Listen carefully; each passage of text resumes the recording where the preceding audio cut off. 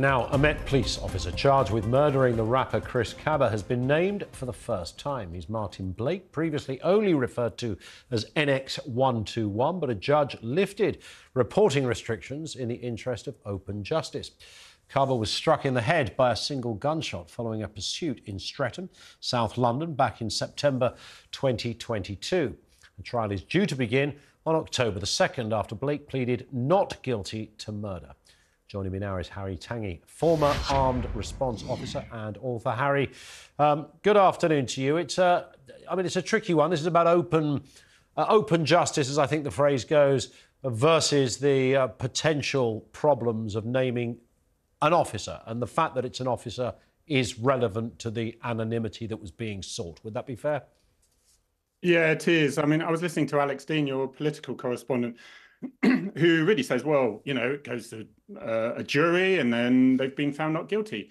The horror of a police officer, especially an armed response officer, dealing with the most violent gang members or whatever, generally day after day in their career, of going to prison and the suicide rate in policing as it is. The slight difference that Alex has failed to appreciate is this is a police officer that we all ask to go out and do these jobs that we wouldn't necessarily want to do ourselves. And that is different from a random person in the street shooting someone dead, saying they had a, an excuse for it, and then being charged for murder.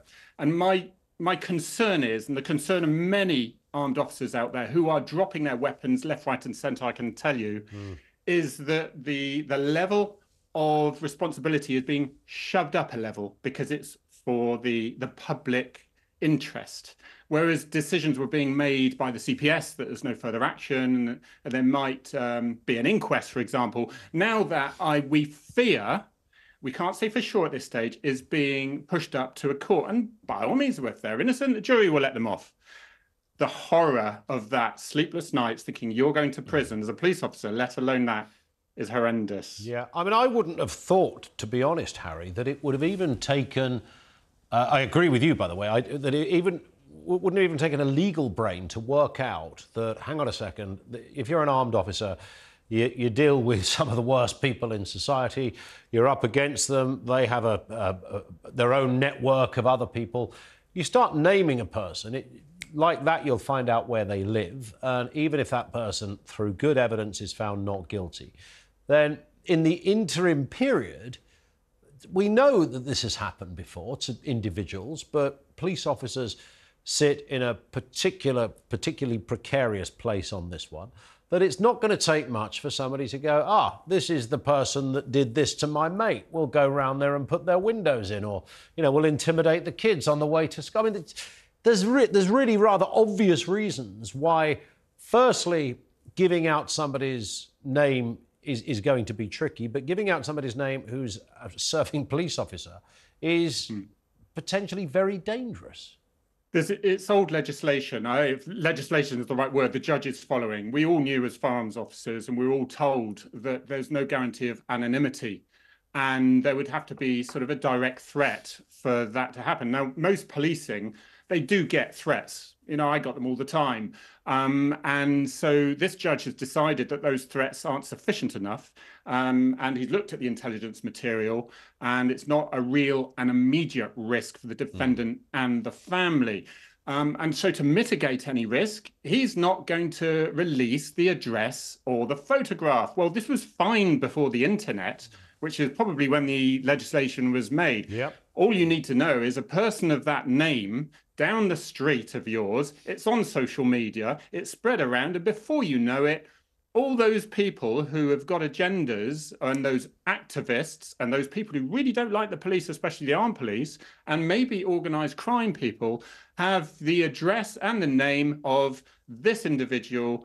And God forbid if he's got school kids at the school, they're going to be bullied, your dad's a murderer. I've heard all this before with police officers it, it is the most it, it needs updating. And if you want a reflection of how the reaction is out there there's telegraph um, uh, article recently. Six applications for armed response in the met when they expected the usual 150 to 250 consider also there's a natural 10% wastage every year of armed response. Nobody's applying.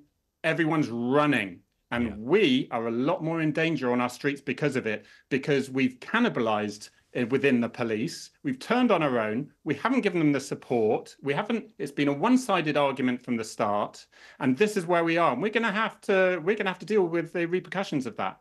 Yeah, indeed, uh, and of course, it's a completely voluntary uh, application to, uh, to, to join the the, uh, the, the armed police, uh, and the police do need and, and you're absolutely right, Ian. And, and if I could just add, yes, it's voluntary. And I joined the armed response. I was in for 23 years. I was an operational firearms commander, like a team leader. I was firearms tactics advisor. I was a VIP protection officer for all the royals and government officials. And um, and it was a sense of pride, that teamwork. It's a cliche, but it's that teamwork. There was no other job in the world that was so responsible that you made the decision and the training that it was so much trade, well, 14 initial weeks uh, for just the most basic course um, before all the other stuff. So you're losing a lot of experience out there. Yeah. But the refresher training, four full days every six weeks. My migraine stopped when I left the police.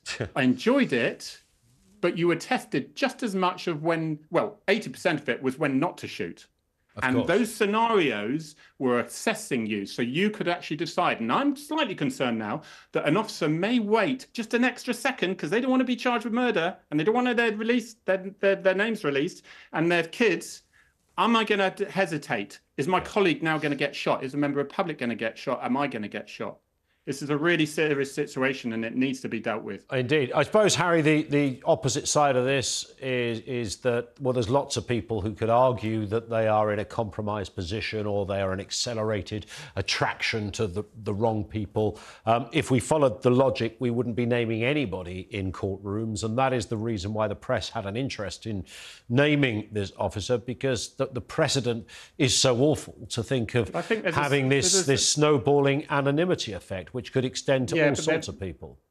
But there's a very clear distinction. And this is why police officers should be treated as witnesses until there is clear evidence by the initial investigating officers that this officer, a, an officer, has gone uh, has gone rogue, and this is completely out of the ordinary. But when we've sent them to incident, spontaneous incidents, time after time after time, day after day after day, and they make a decision. Now, in training, you then say, "Well, why did you consider that? Did you consider that? What about this? Why did that?"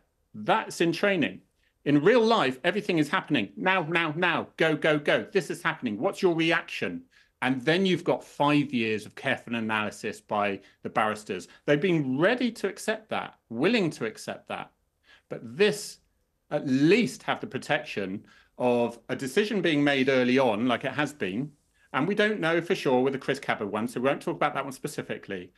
But if you are charged, at least give them the respect of anonymity because, okay, well, it'll be past that argument because you won't have any armed response officers and they'll have to level lower the requirements of those applicants and the abilities of that skill level, just as they have had to do with police recruitment in order to get the numbers. Do we want that either?